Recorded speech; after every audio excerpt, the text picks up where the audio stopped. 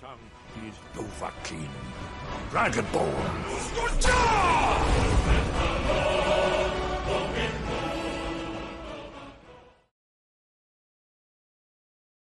Hallo meine Lieben und schön, dass ihr bei Kilians Pokémon Lexikon dabei seid. In der heutigen Folge stelle ich euch meinen Papunga vor.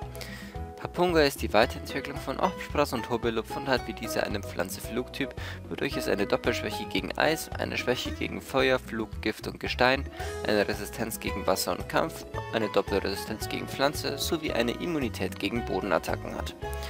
Papungas Basiswerte sind auf den ersten Blick wenig überzeugend, da gerade mal Spezialverteidigung und Initiative gut sind. Vor allem die beiden Angriffswerte, äh, vor allem die beiden schwachen Angriffswerte machen es Papunga schwer irgendwas zu machen, da seine Typkombination zu anfällig gegen viele starke Attacken ist, um es defensiv zu spielen. Die VAU verteilen wir hier dennoch voll in Angriff und Initiative, dazu ein frohes Wesen, um die Init zu maximieren. Als Fähigkeit nimmt man Chlorophyll, diese verdoppelt Papungas Init in der Sonne. Bei den Attacken nimmt man Akrobatik, Samenbomben, Schwertanz und Schlafpuder. Akrobatik ist eine nette Flugstep-Attacke, die doppelten Schaden verursacht, wenn kein Item getragen wird. Samenbomben ist eine Pflanzenstep-Attacke, Schwertanz erhöht Papungas Angriff um 2 Stufen und Schlafpuder ist zwar etwas ungenau, kann aber den Gegner 2 bis 5 Runden lang einschläfern. Wegen Akrobatik spielt man hier kein Item auf Papunga.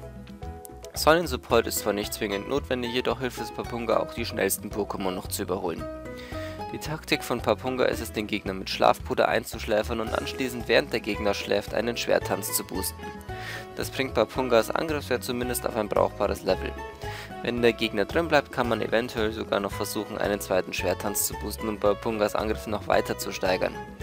Nach dem Boosten fängt man an mit Akrobatik und Samenbomben draufzuhauen. Auch wenn Papunga nicht sonderlich stark ist, kann es zumindest ein bisschen Schaden drücken, vorausgesetzt der Schlafpuder trifft. Allgemein empfehle ich es jedoch nur in Low-Tier-Kämpfen zu nutzen.